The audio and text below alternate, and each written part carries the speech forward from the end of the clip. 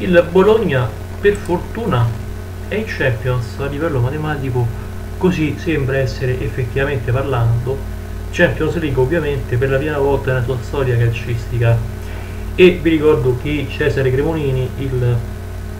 chiamiamolo frontman o meglio il personaggio fulco di Luna Pop questo gruppo musicale degli anni 2000 e 90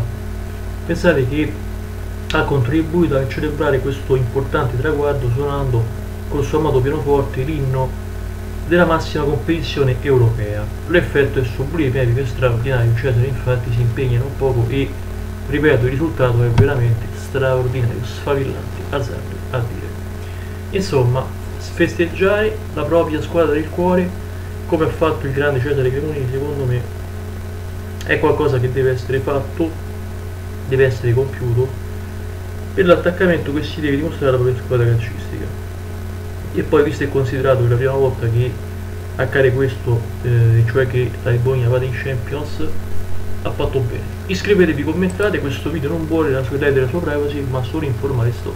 lascio per questo motivo non per altri motivi